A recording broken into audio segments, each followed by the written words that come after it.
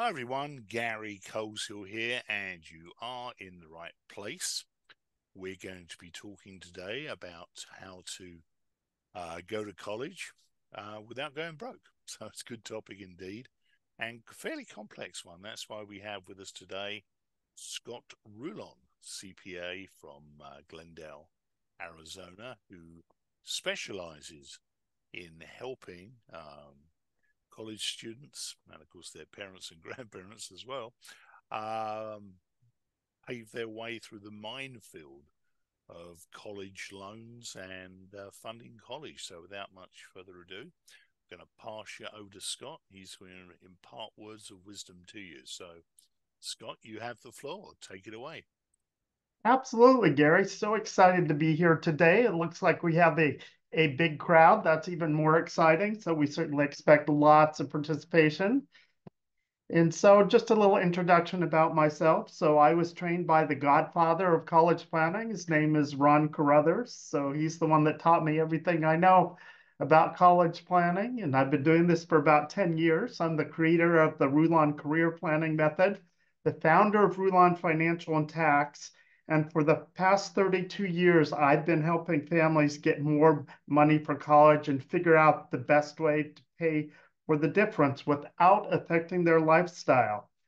And you know what? I have sent uh, a kid to college. He's now graduated. I'm proud to say he is a mechanical engineer at a major tech company, and he has done very well. And so to tell you that there's kind of some proof in the pudding, I just wanted to let you know that um, my son, not although perhaps not the smartest kid in the class, he got a full ride scholarship. So mom and dad, which we're very thrilled, only had to pay a room and board. What do you think about that, Gary? Think that's a good do indeed. Very impressive.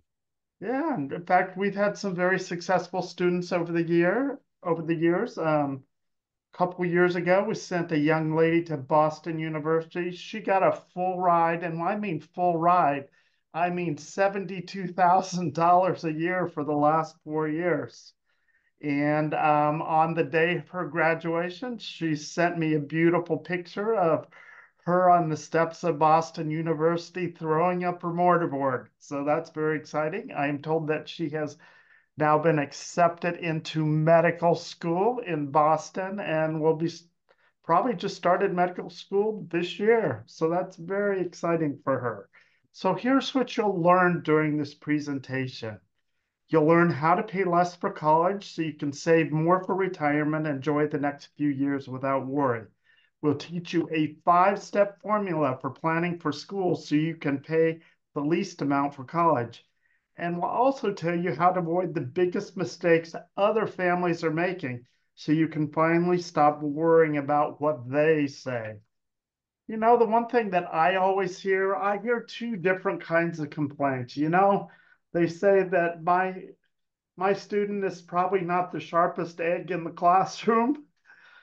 But guess what? It's not all about being the sharpest egg in the classroom. Um, in fact, if you have um, you know what? If your grade's above 3.0, and especially if you're more towards that 3.6, 3.7, there is an excellent opportunity for you to get some college funding.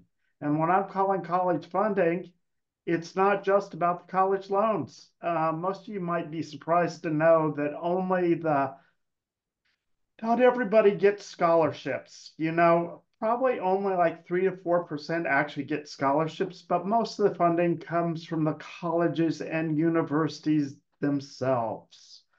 And so the kind of complaints that I also hear is from the very rich families. They say, oh my goodness, you know, I filled out that FAFSA thing, but I didn't get any aid from it.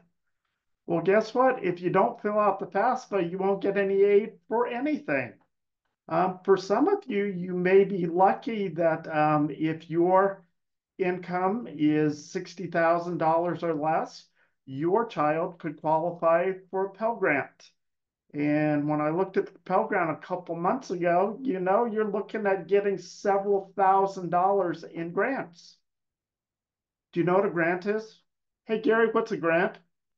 Grant is free money. Basically, you don't have to, it's uh, given to you to help you with your finances, but you don't have to pay it back, which is a good thing. Are you sure about that? You said free? Uh, yeah, absolutely. I mean, both my boys went to uh, college. My eldest went to the American Film Institute, and my youngest went to ASU. And uh, we we got grants and uh, help via your program, and uh, it helped them to pay for it. So yeah, absolutely. I know that absolutely. Experience. And that all comes from you have to fill out the FAFSA form. If you don't fill out the FAFSA form, you can't get anything. Yeah, that's where you start, basically. After that, the hard work begins. But uh, yes, you, you do have to fill out the FAFSA form. Yeah, and if you want to go to a more elite college, and guess what? You can go to the more elite colleges like Harvard or Yale for a wholesale price. You can pay for them about the same price you'd pay for, in this case, we're in Arizona, about the price of Arizona State University or U of A or NAU or GCU. So if you have one of those talented kids who's done really well on their ACT or their SAT and they have um, really high grades, you know, they might be eligible for, for one of the more elite institutions. But guess what? You don't have to go to elite institution to get great grades. Um, my father actually taught in the college system for over 40 years.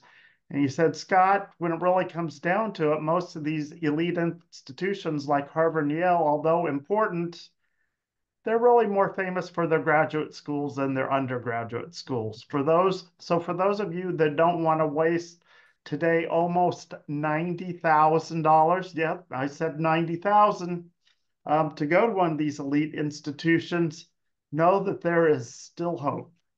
So, why is this important to you now? Most traditional planning we've learned is dead wrong.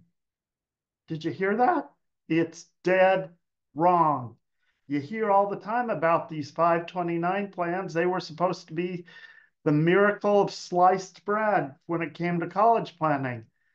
The only problem is the colleges caught on to that and they added that to income that you would receive for FAFSA. And that actually hurt you when it comes to paying for college. There are two vehicles when saved correctly that can help you from going to college, going to college. So you want to learn about more of those? You'll have to tune in later and find a little more bit more about that. So college is getting more expensive by the moment and can cost over, brace yourselves, $250,000 per year per student. Imagine, you know, it's bad enough for one student, but Gary, what would you do if you had two or three people in your family that had to go to college? You'd probably live in a shock. So just remember, if you borrow that money, that means you would pay back $378,000 and your payment would max out at $3,149 a month for 10 years. So that's 120 payments of $3,149.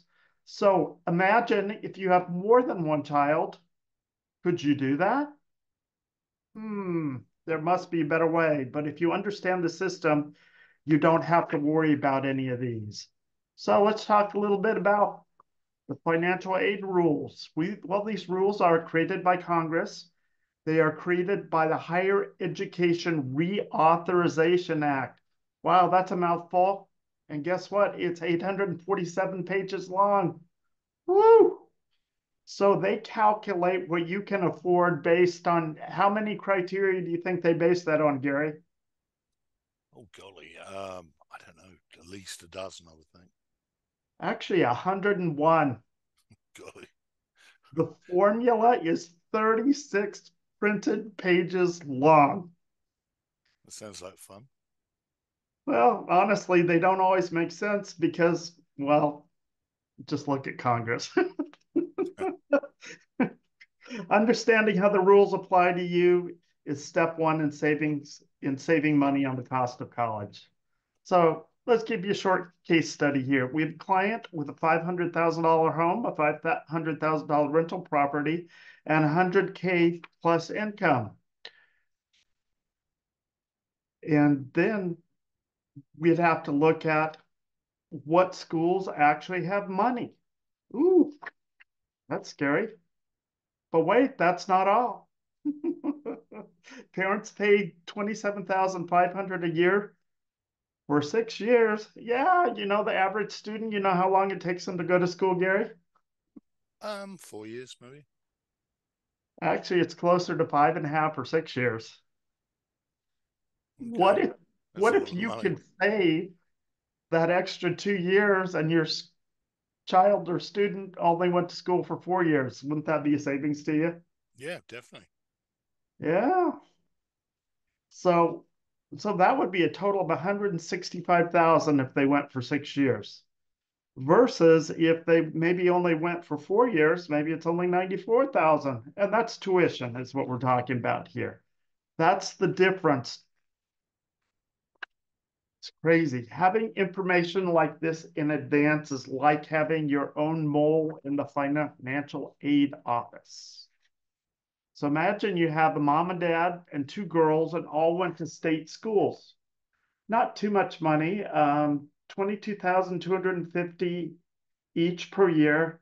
That's about $27,000 in total. And so when we're talking about this, we're actually talking about community college. Sometimes you can save a lot of money going to community college. And there are a lot of community college programs. In fact, there's a few here in Phoenix Paradise Valley Community College, Glendale Community College, they actually have four-year programs.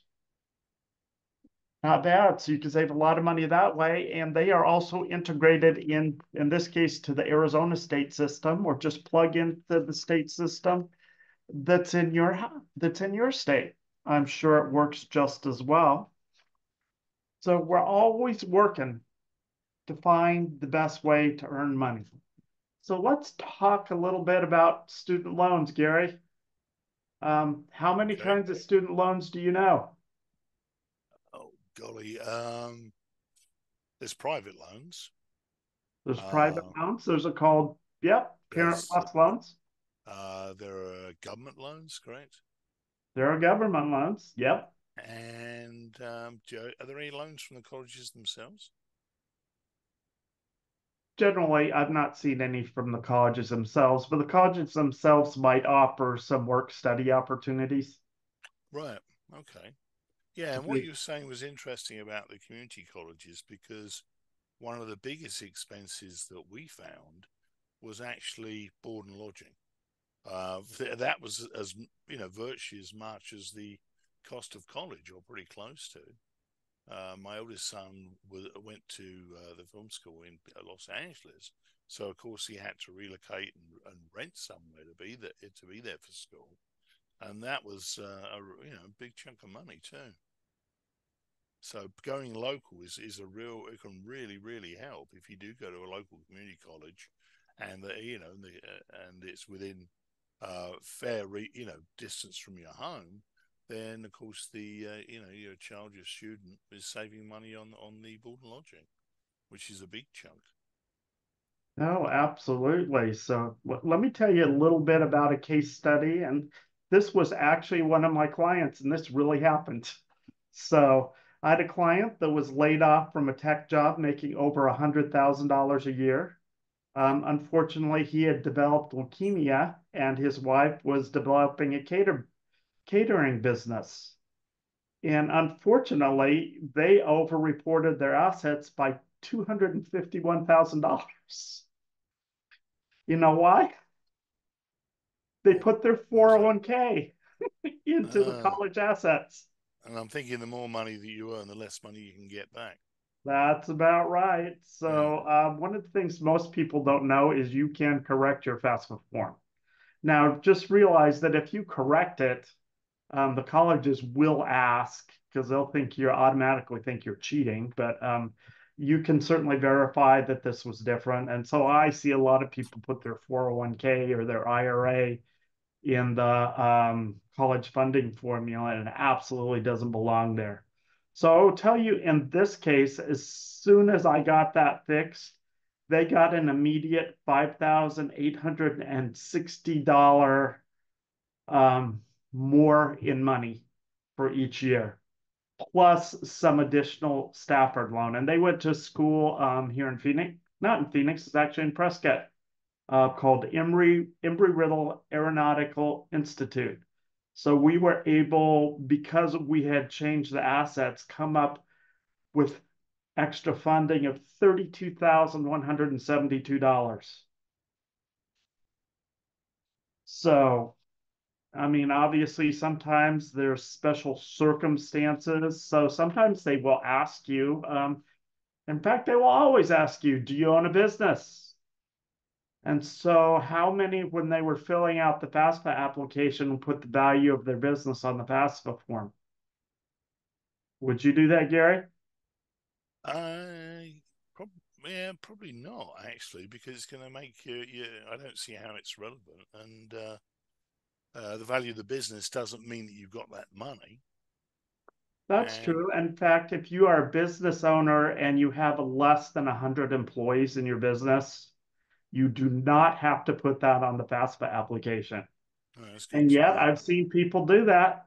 And guess what? Guess what happened to their tuition aid? yeah, less or, or it went out the door zero, or zero. Yeah.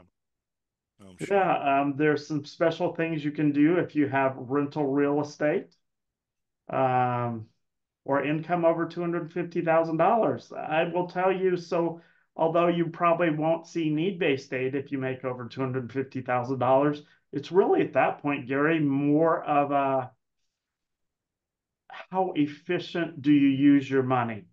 So sometimes I will ask people, how much money do you have to make to spend a dollar?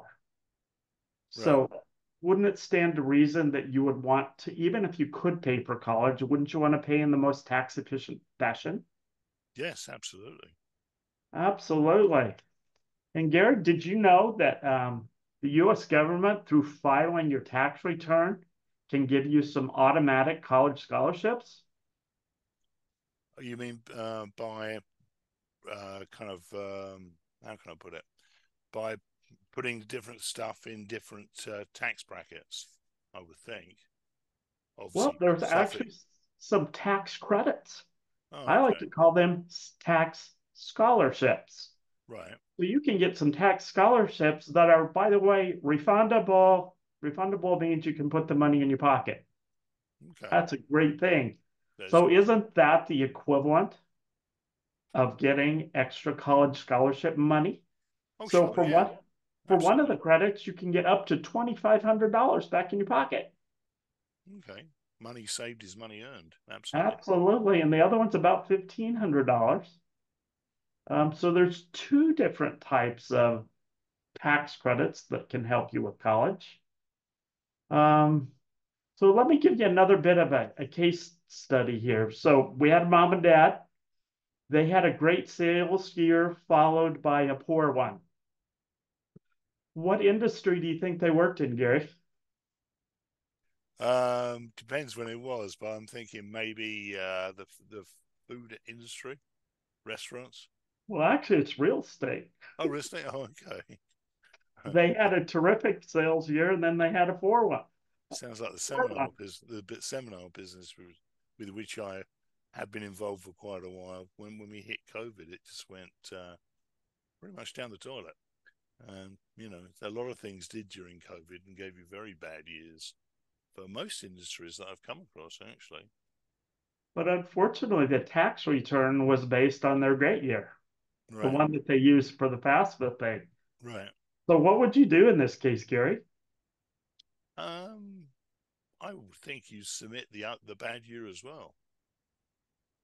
Yeah, you should at least submit a note. Yeah, um, I would have thought so. For that. In fact, we helped this particular family. Not only did they have a poor sales year, um, they had forgotten to file their FAFSA, and we actually helped them get six thousand dollar grant per year. Okay, that's great. Yeah. So, Gary, here's our $247 gift to you a 60 minute strategy session for your family. How about that? That's a great offer. That is you, a great offer. What you, what'd you have to do to get that? Well, that means you have to give one you have to give one of us a call. And you know, one of the things that we do for this, um, we require a $50 deposit and we will um, actually, we will put that against any further work you want us to do.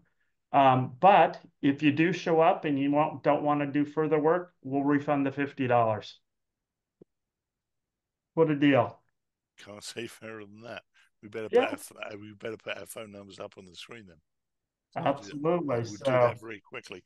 Also, don't forget there is a questionnaire at the end of this session, uh, which would be great if you uh, uh, if you want to do the free consultation, because it gives us information that we don't have to waste time on the call getting from you, so the call can be you know much more effective.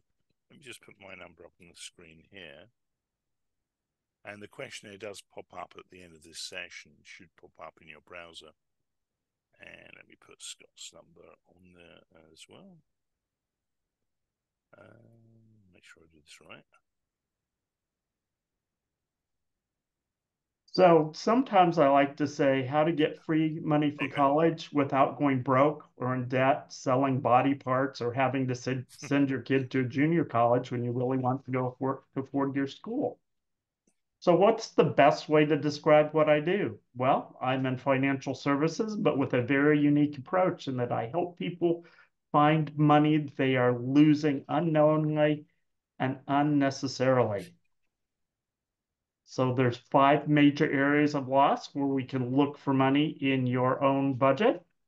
Um, that might be with your mortgage, that might be with the taxes that you pay, the qualified plans that you have, that might be the college you're currently sending people to, and may even have to do with major capital purchases.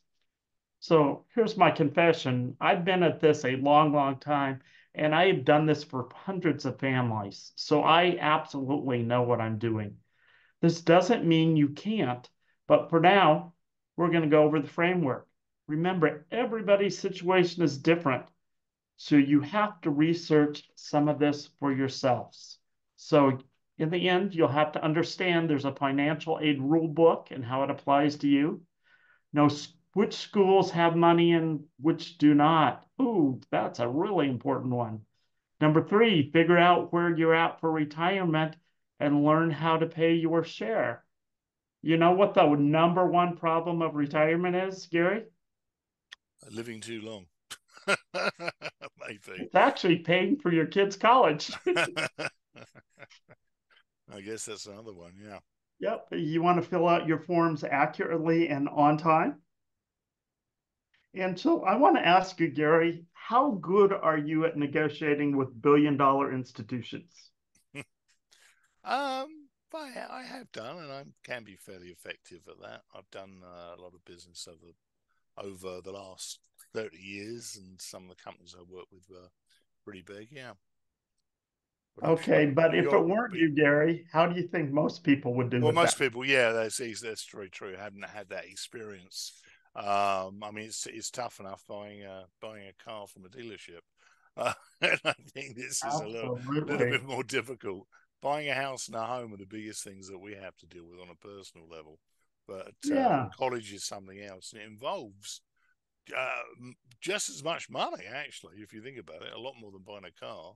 And uh, if they're gonna, if you're gonna pay out two hundred and fifty grand for your, uh, you know, for your child to go to college, or they or they are, that, that's a big chunk of change. That's a major financial decision, and you definitely need good advice on that because one little slip up on any of those forms, and uh, you know, you can end up being disqualified or getting getting very little or nothing. So yeah, I, th- I think it's uh, somewhere that people do need a lot of advice. Absolutely. So, what do you need to know? Just like with tax planning, with a little understanding, you can save yourself a little money. With a more complete understanding, you can save a ton. How would you like to save a ton of money sending your kids to college, Gary? I think everybody would love to. Absolutely. So, when we're doing that, there are three magic letters we need to learn. Now they've changed this slightly on the application. They don't call necessarily call this EFC anymore, but it is called expected family contribution. And that's the amount of contribution based on the FAFSA form that each college expects you to pay. So you want to be really careful with that. You want to make sure when you fill out the FAFSA form, which by the way is 129 questions, that's what covers that 101 different aspects for getting money for college. So you want to be careful with that. And Gary, um, so I think that's probably pretty good for today. I know that you have a very special offer for the people to listen to this. So why don't you go into that? Yep, I'm going to have to change screens here. So Absolutely. Bear with me, bear with me while I do that. And I'll try and bring that up on the screen. Let's see if I can make that work. There you go. Do you see that rather nice picture of a college up there? Is that Oxford? Uh, no, it's not actually. It's one of the states. I can't honestly remember where it is, but it was very, uh, very attractive. So I thought it would be a nice picture for the slideshow. Um, but uh, yeah, I, I, can always get back to you and tell you where it is. But it, it is it is in the United States. Now let's switch screens here. Here's the offer uh, that we've been working on, and as it says up there with a smiley face, it's a great one. Um, we have a special offer which we call the College Planning Academy, and it consists of four live on online training sessions with Scott. And basically, session one is what you need to succeed. Session two is very important indeed. They're all important, which is how to complete the FAFSA. Uh, third session is how to find the right college for you that makes the most sense for what you want to be doing, the the career that you you want your uh, student to have afterwards. Obviously, setting that that up correctly is extremely important. And lastly, but not leastly, how to navigate the college loan minefield. Now, each of those sessions is valued at $747. Plus, we have a free bonus session, which Scott's already been talking about, um, which is a one-on-one with Scott, a 997 value in this package, giving you a total, a grand total of 3,228. Uh, but don't panic. We are going to show you how to reduce that. Uh, sessions will be held every two weeks and they'll all be available as recordings. So, if that makes sense, let's move on here. We're going to show you how to save over $2,000 by acting right now. And this offer is going to be up and available until 8 p.m. this evening, Pacific Standard Time. We're going to do the whole package for just $997. But there's even more good news. Basically, this is the, the package you're going to get. We've just gone over the four live training sessions online with Scott, plus a free bonus session with him, with you, one on one. But, but, but, you, there's two ways of doing this. One is that you can register at this link here, tinyurl.com forward slash college in full and you can make one payment of 997 and you're done and you get all those things you just discussed the four sessions and the uh, bonus uh, one-on-one consultation. Or if you prefer you can register on this second link here uh, which is tinyurl.com forward slash college in four. And it's called college in four because you can actually make four monthly payments instead of just $267. There's a seven day money back guarantee. And if you have any questions on the program, feel free to call us on 888 894 2929 and we'd be happy to answer any questions you may have. So that's that's basically about it. If you want to get started on this package right away, with a very special price of 997 and save yourself two grand. Again, we're all about saving money here.